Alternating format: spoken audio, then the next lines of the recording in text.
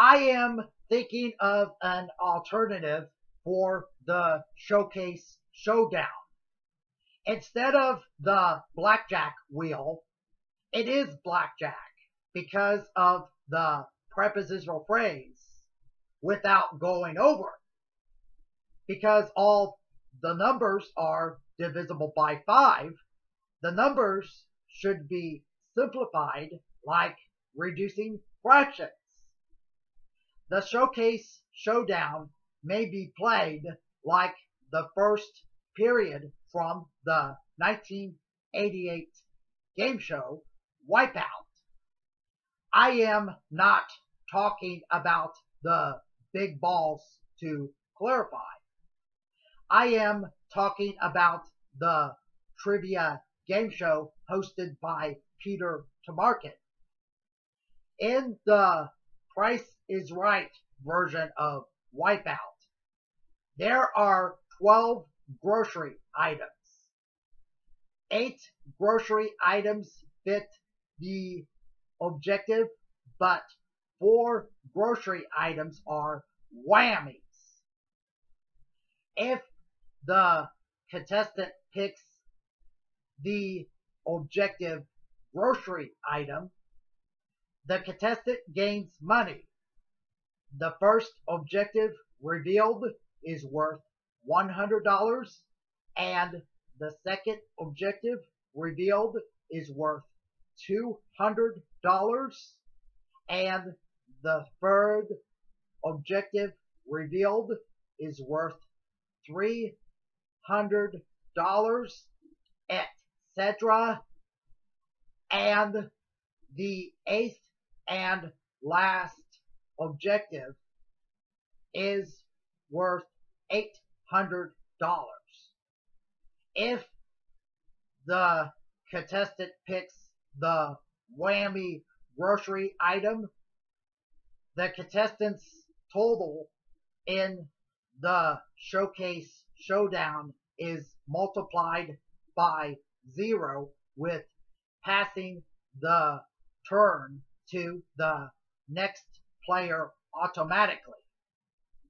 After the contestant picks an objective grocery item, the contestant may choose to pass the turn to the next player or to select another grocery item.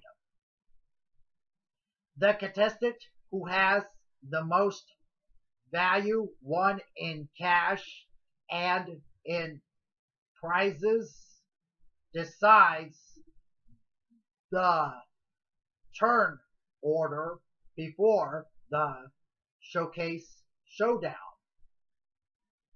The contestant who has the most present money after eight objectives revealed or after four whammies revealed goes to the showcase.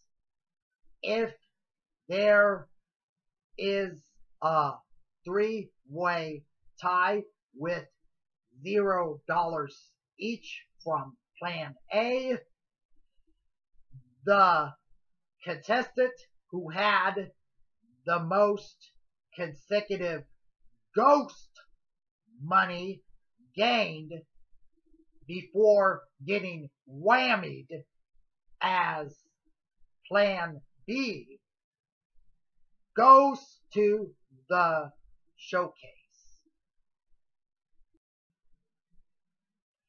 I keep hearing Drew Carey with his counting by ones instead of saying the number without counting. I know how to count. Thank you very much. Do you think that the price is right is Team Umizoomi? If you are tired of playing pricing games based on the decimal number system, you can try to play pricing games in different number languages based on the number of possible digits from 5 quinary number system to 60 hexadecimal number system. That is it for my editorial. Please declare every intellectual property, copyrights, patents, and trademarks to become public domain. And please do not forget to support males' rights to have fun in their leotards. And please do not forget to support the people with autism. And please do not forget to play Sudoku. Goodbye, everybody!